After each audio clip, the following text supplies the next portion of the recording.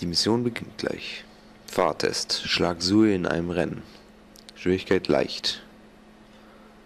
Forderliche Fahrzeugstufe 11.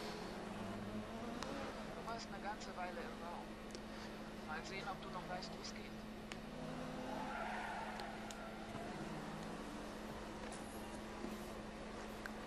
geht. So, jetzt müssen wir Zoe schlagen. Das ist äh, die FBI-Agentin, die unsere